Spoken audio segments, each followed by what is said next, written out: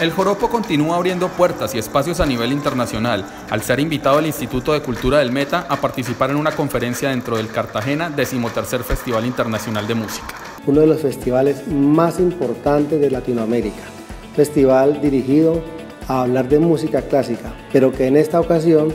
eh, abrieron un espacio para otros géneros musicales y ahí tuvimos el honor y el prestigio de ser invitados por parte de los organizadores